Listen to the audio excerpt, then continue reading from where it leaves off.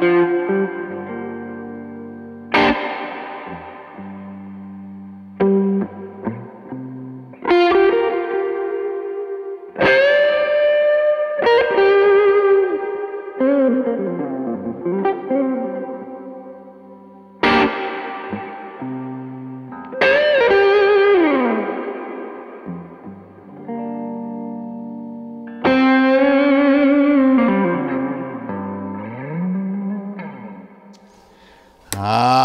haunting, haunting tones, Mr. Dave. Indeed. Welcome back, people, to another episode of Andertons TV. I am joined again by the highly talented Dave Simpson.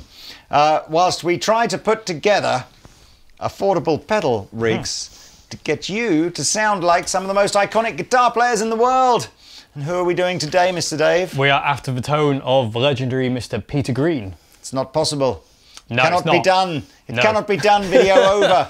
Um, Peter Green, you got you got any good Peter Green anecdotes? Uh, yeah, fair few. I mean, ridiculous amounts. I'm not going to go too crazy. I bet I've got a better one. Got it. That was uh, my dad and Peter Green went to school together, and my dad's first band was with Peter Green in it. That's my clang. Yep, I never, that's I never met. I never met Peter Green, and my dad lost touch with him after they left school. So there's no, I don't have any more stuff. That's but really yes. cool. Yeah. Uh, but you tell us some of yours. Uh, Peter Green to me is the, uh, to me, is the quintessential British blues guitarist. He had the right tone. He could. He had the voice.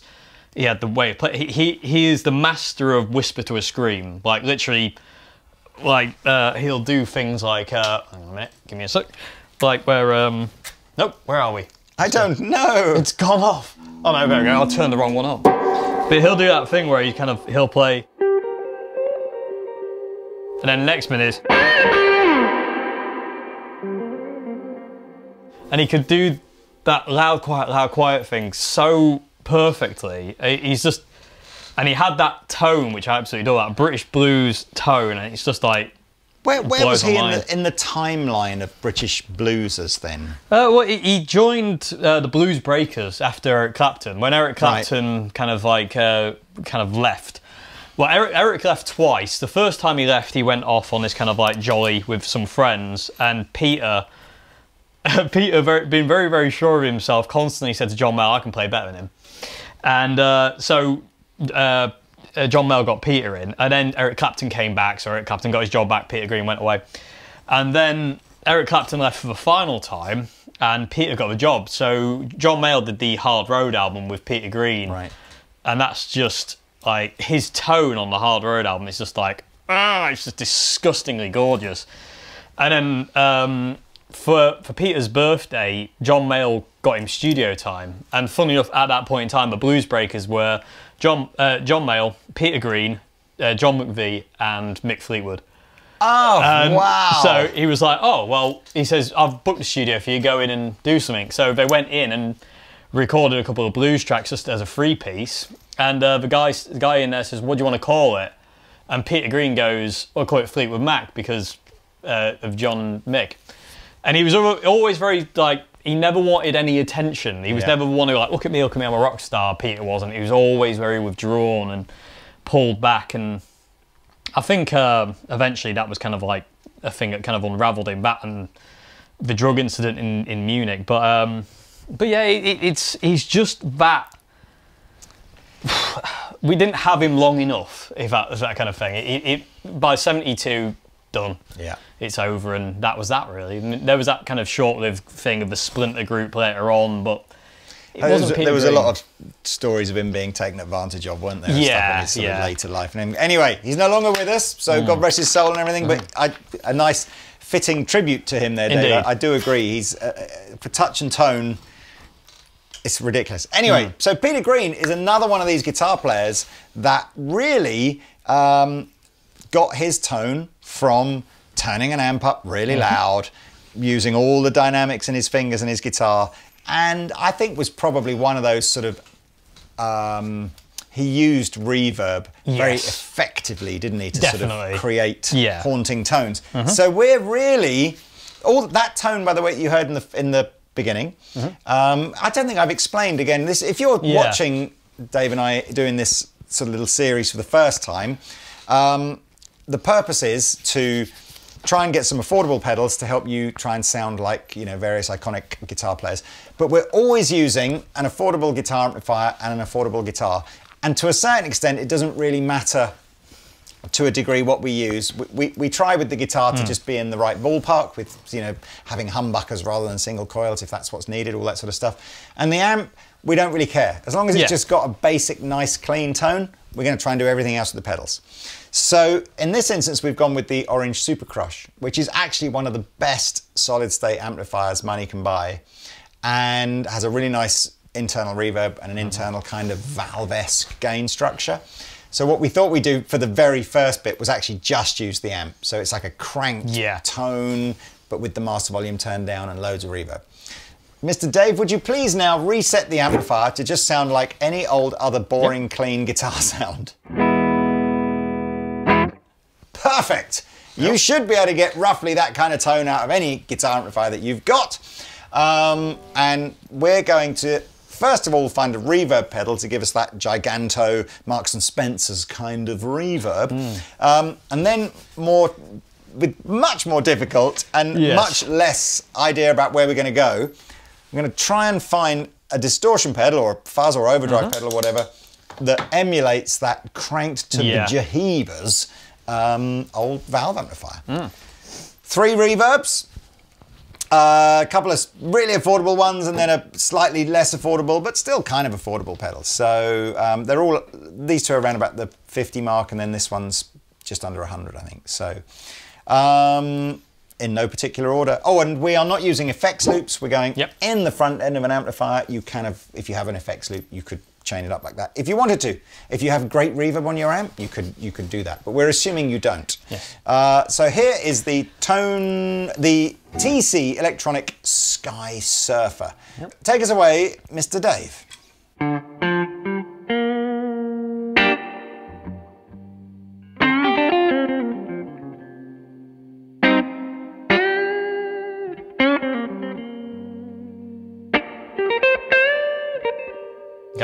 More, more and more reverb. Okay, Definitely so more. Uh, typically speaking, on um, really simple reverb pedals, a bit like an amplifier, you might just have one knob, you know, how much reverb you want. Uh, but typically speaking, what we would get is on the, the, the Skysurfer, we've got how much reverb do you want, how much mix between the dry and the, and the wet single, signal do you want there to be, tone control for the reverb, and actually on this one we've got three different types of reverb. Uh, the JHS one, we have got how much reverb do you want, the tone of the reverb, and the decay. So reverb, I think, on this would be like the mix control, and the decay, decay, decay uh, would be um, how long does the reverb go on for. Um, so you want a little bit more. I'm conscious of the fact that when you're going into the front end of an amplifier, it's very easy to overwhelm the signal with too much reverb. But here we go. We'll try.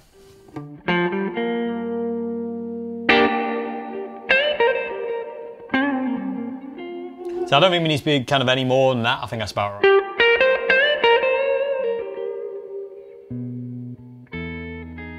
Here we go.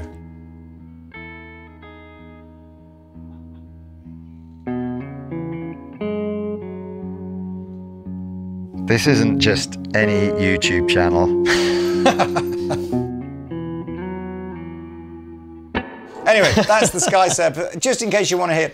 I love that. A spring reverb is designed to do the uh, spring reverb that would be in an amp. A plate reverb was more of a studio kind of reverb, and a hall reverb is just an emulation of what it would be like to be in a big hall. I'll flick through them so you can hear. So this is the spring. Here's the plate. And here's the hall. You just choose to taste, whatever you like the best. Uh, the tiny spring is the simplest one of the three. Here we go. Here's without. Oh, it's just so bad. So dry. It's like a water biscuit without even butter on it.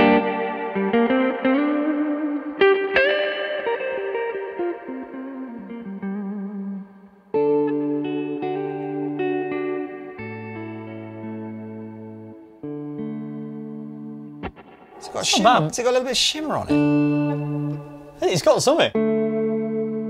There is like it's like almost like chorusing, almost like a. I really, I love the musicality of that, even though it's very Yeah. simple. Let me just quick.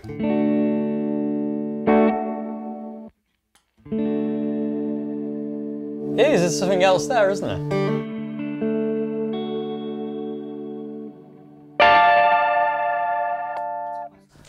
Like a little splash of distortion Hmm. and shimmer and modulation. I don't know. I like that. Do you know what we call Sounds these nice. kind of?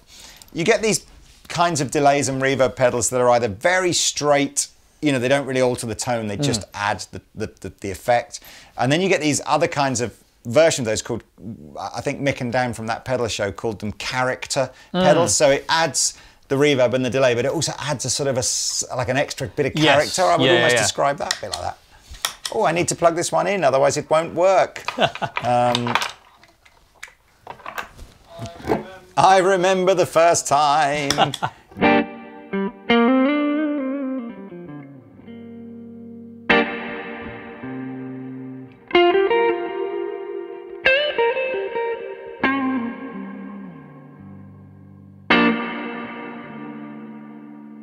That's- Very. I like that one a lot. Yeah. I like What- the what were you gonna tail. say? I interrupted. It's very very what? spacey. like there's a lot. It, cre- it creates Like a lot. Kevin. Big. yeah. Um, try this. Let's just run through them. See where we go. Okay.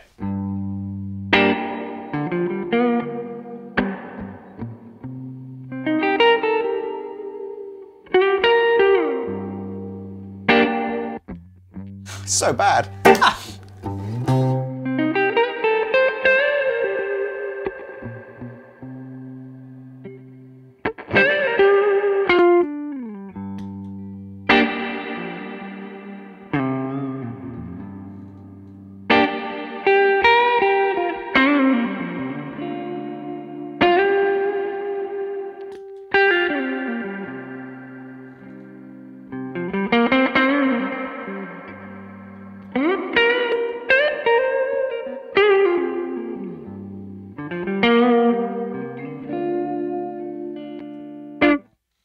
I mean, I think we can all agree that uh, any one of these three makes the dry sound on this amplifier better. And Yep. if you have an amplifier with no reverb on it, get a reverb pedal. Um, Dave, it's you know you're in the hot seat. You're, know. Which one? I'm kind of torn between. Uh, I I do like a tiny spring, but that kind of shimmery thing, I, I, it sounds really nice.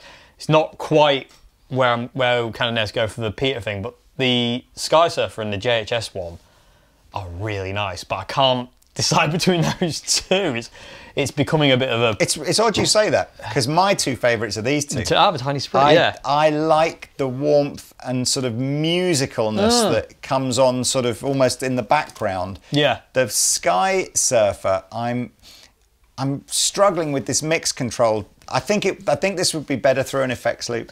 Yeah, Because I'm struggling. It's literally just like not quite enough to to too much and it, and I think through an effects loop you'd get more of a blend of the dry signal coming through it would be easier to manage but so I think on that basis should we just go with this one then seeing as that's Yeah. the one that we both agree sounds I, again, I, li- I like the space that that that, that Hmm. creates. Like on those Fleetwood Mac like blues recordings you hear him live, when his reverb's there, it's, it does that really weird thing that Spring Reverb does as well. It's like when he's flat out, the reverb's there, but it almost is inaudible. And then when he turns the volume down, it comes back in. It's very strange. Uh, do you like the clang of a spring reverb as I well do, yeah. you I like do. that kind of drippy, sp- splishy, yeah. splashy thing. yeah anyway look Technical terms. we could go deep on reverbs and often do. Um, but let's just choose this one for now. Yeah. Uh, right. Um, there's almost no point making you a board on the floor. No, there isn't actually, is there? No. Because basically, It's not gonna um, we're only going to have two pedals in it. So Yes. I think we'll leave this plugged in and sort of over here somewhere. Uh-huh. And then we'll just plug the drivers. Now this is this next bit This is going to be I, difficult. I don't know. I really don't know. I mean, you're talking about you know blues breaker era. You're talking about players using you know I like Clapton using tone benders and Hmm. Les Pauls and Marshall amplifiers and, but I don't ever really get the sense that was Peter's sound. No, I mean, uh, he was, well, uh, when, when he was in the Blues Breakers, he used uh, a JTM 45 Hmm. more than anything. And he didn't use the Blues Breaker combo that Eric did. He used a, a JTM 45. But when uh, Fleetwood Mac started, he, used, he went to Orange Yeah. uh, and later to Fender. Um, but that orange sound, cause he had a, an orange, oh, I forget the name of it now, but he had an orange head and an orange reverb tank and basically just gunned it. And there's a great picture actually of um, Fleetwood Mac playing with BB King. And uh, BB King's going into the same amp as uh, Right. Pe- Peter Green. And he, I think Peter's just smiling because BB's playing through his amp, and it's just like this is BB King right there, and he's he's just like absolutely loving it. So it's really cool. My gut feeling is we're going to very, very quickly just go no, No. to a lot of these drive pedals. But let's see. So let's get our. I do like that really.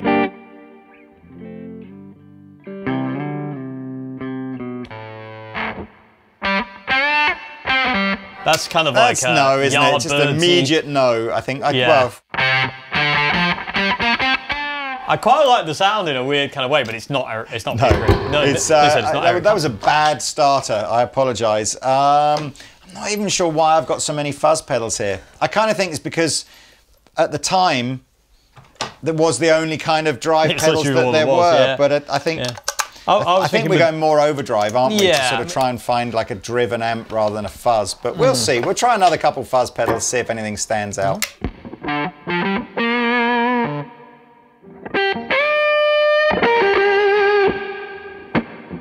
That's closer than the first one. It is.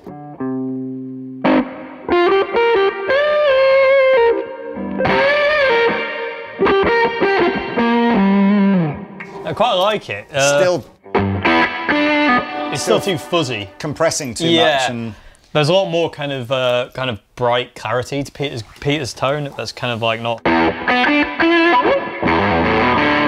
not that's quite- too fuzzy, isn't yeah. it? I mean, that can go in the it wasn't bad pile. Mm, yeah. Um, I think I'm to Not try one reject. more. I'm going to try one more fuzzy kind of pedal, and then might steer away from fuzzes and just look at overdrives Mm. and see what we can do. We may never find a convincing Peter Green Mm. drive tone. In all fairness, it, it's it's the tone that I've been searching for the longest. Right. Like uh, um, I've tried and tried and tried and tried. And to get the dynamics that he had, and even even when diming an amp, it's like, how the hell's he doing this? Well, we should also mention that what we've not got here is a Les Paul with that sort of um, The out phase. mythical out of phase Hmm. neck pickup. This is just a normal wired uh, guitar, but oh, Oh, dear, that's uh, yeah, nowhere near, nowhere near. That's a totally, totally different kind of fuzz. Uh-huh. Um, I'm going Blues Driver. Yep. I'm going Blues Driver. Ye old reliable. One of the most underrated boss pedals of all time. great sounding pedal. Immediately, it's Yeah. more the overdriven amp tone, isn't it? Definitely. It's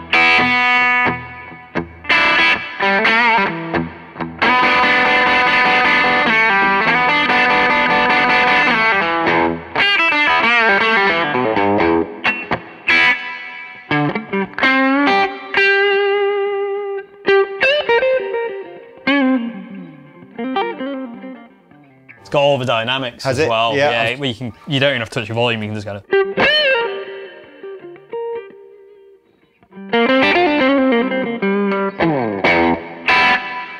A bit more uh, gain on it, just like not a great deal, but just maybe about twelve o'clockish, maybe. 12 o'clock, yeah. Yeah. A bit, bit, but Yeah, that's actually yeah, two. Yeah, somewhere around there. So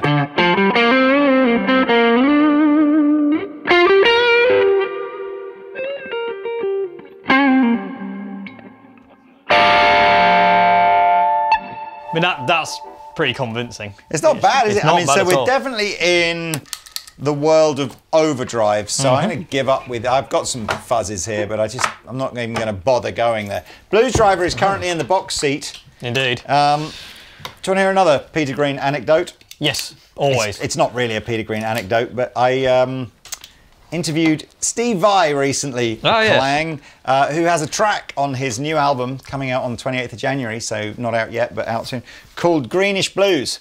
Oh, and I sort of said, "So, what was the? Uh, you know, I didn't realise you were like Peter Green fan." And he's sort of this huge, humongous sigh of just like, "I so wish I hadn't called this song Greenish Blues," as he told me for the thirtieth time that day that it was nothing to do with Peter Green and it was just his favourite colour. I was, I was going Um, to say, is- did he so- rip off my song? So, have you done a song? I've called, got a song called The Green Blues, Oh, perhaps it was. which I should've- was for Peter. I should know. Nothing to do with Peter Green. And uh, Love it. had I paid more attention while listening, I'd have known it sounded. It was nothing to do with Peter Green.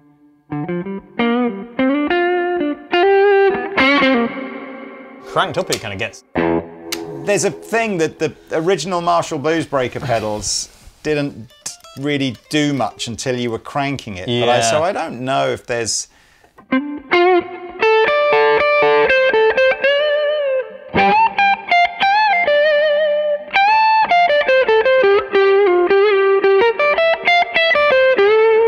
The blues got the drive is dynamics still, or not um, really? Not not, not, in the as same way in the. No, the blues drive is still uh, king here. I'm inclined to agree with you, Mr. Dave. Um, I mean, if you guys have got other things to do, feel free to, you know, nip out, make yourself a cup of tea or whatever. We're just going through a load of pedals here. Uh, here's a super cheap pedal, um, which is just a basic overdrive pedal. Let's see what this sounds like.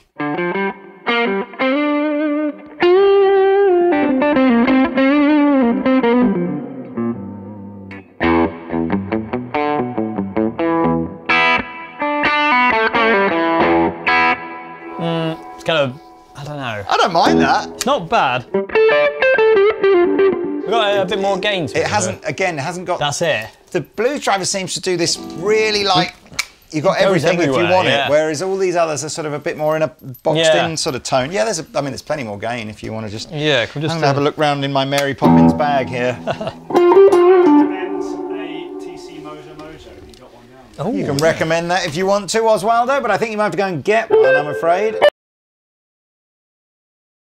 Okay, we're moving on. As you may see here, the pedal has, uh, the table, sorry, has just multiplied in the terms of number of pedals. So we've got some Mooers and a couple more Tone Cities and uh, Electro-Harmonix and a, and a, a TC Mojo Mojo. Which actually, I'm going to go. This is uh, this was Oz's suggestion. I might be wrong. Uh, so we'll see now. We can all judge Oz's uh, Peter Green knowledge. Does it sound anything like it or nothing? Um, confused me there. Okay, Mojo Mojo, baby. Still, so we still think Blues Driver's in the lead. Oh, yeah? definitely, yeah. Okay.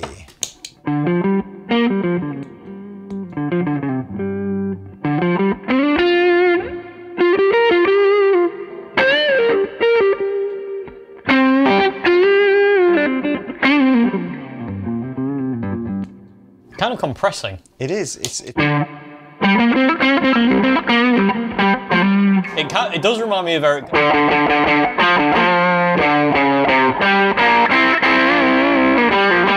It, it kind of reminds me of Eric Clapton's tone more than I've, I've got to go back weirdly. to just remind myself of do I like the blue? I think I still like the Blues Driver the best. Yeah. Um, a little bit fuzzy, maybe the Mojo Mojo. It- that, that's got all that. Yeah. clarity. Okay, Blues Driver still number one. Mm-hmm. Um, but Oz, you get a notable pass there. As it sounded okay, I think. Um, Thanks, Lee. You're welcome. I've no no aspir- no no idea if this is going to sound good or not for this tone, but I like this drive pedal. Like, this is straight off of my own mini board. Oh, Oh, nice. that's, that's, that's an effect in its own. Yeah. That's cool. I like that.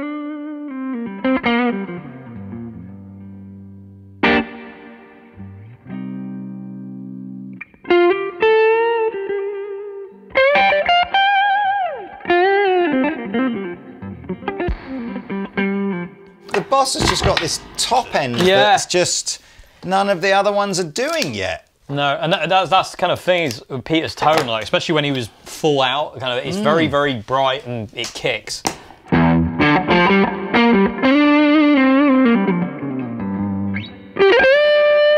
It's like it's a bit too high gain. I mean, uh, Yeah, they're the, all none of them have just. It's it's not treble no, as such. It's high frequency. It's just. Yeah. It's a. I'm putting the glove on. Be careful. Going by, vet- in. by veterinary glove. um,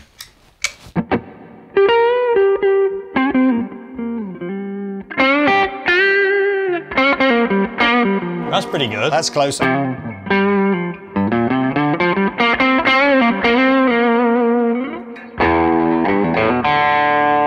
bit more gain, maybe That's about 10 close. o'clockish.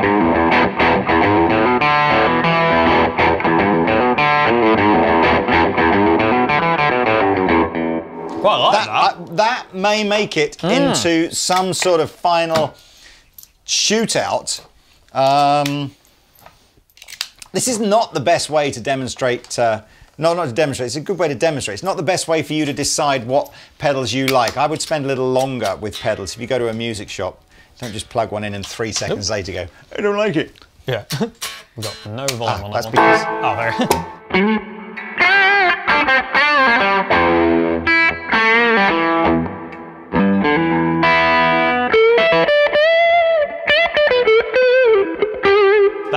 It kind of it's got, interacts. the, it's got the treble again. yeah, I like. and it interacts with that reverb.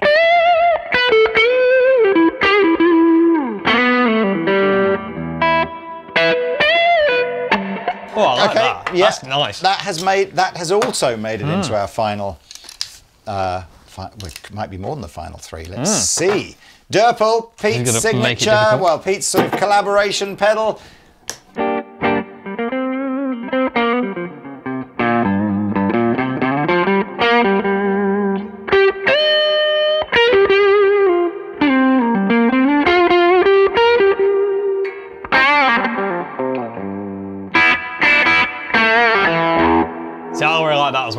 That's really cool. I was going to say that for me didn't have that had that high frequency missing, hmm. but we'll you know because it's Pete's and it'll get stroppy if we don't include it. We'll just let it go through. We'll have a four-way shootout at the end. Come on, Mooer. Okay. Have you ever had blues crabs before, Dave? Not yet. Excellent. About to.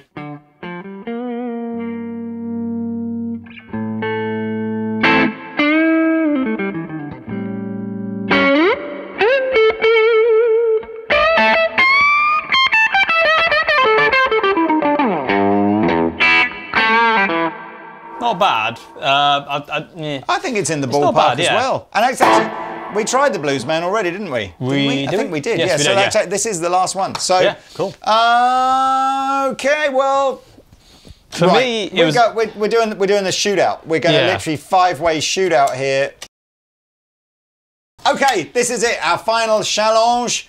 Uh, Mr. Dave, please Mm-hmm. play a relentless Peter Green style as I switch through these five, and then we'll Okay. pick a winner. Uh, for, It,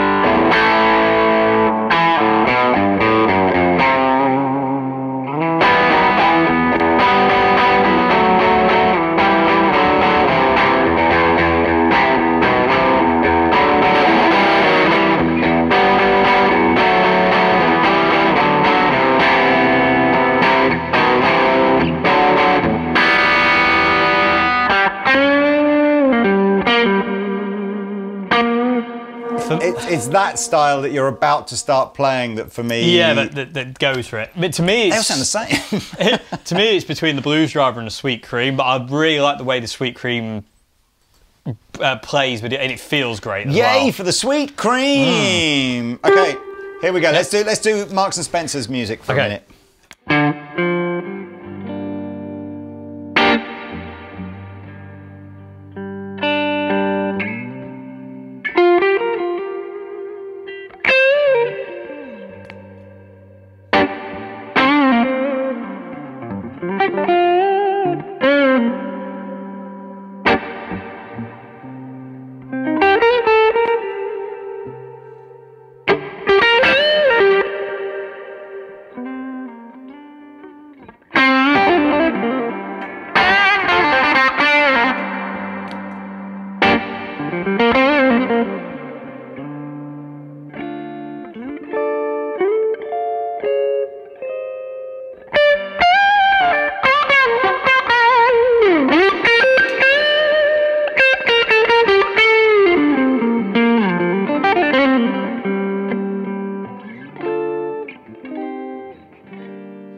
It's a sweet cream for me. I think it bloody is, isn't It it? really go.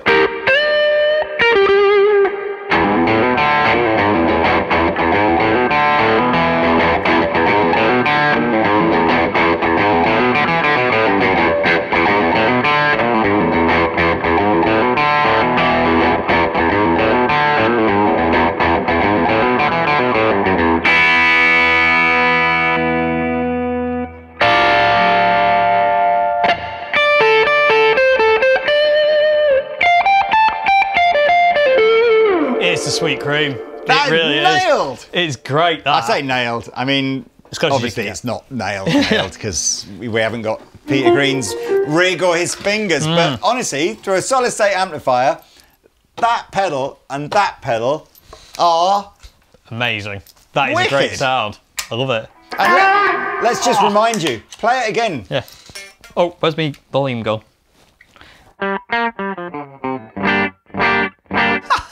So, not Peter Green.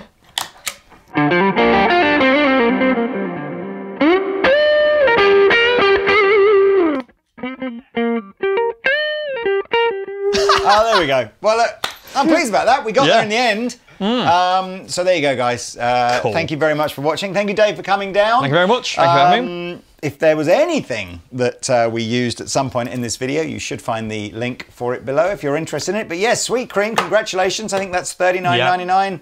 I can't remember how much the JHS Reverb is, but I'm pretty sure it's change out of £100. Um, so there you go. Thank you very much. Uh, and yes, we shall see you in another video soon. Au revoir.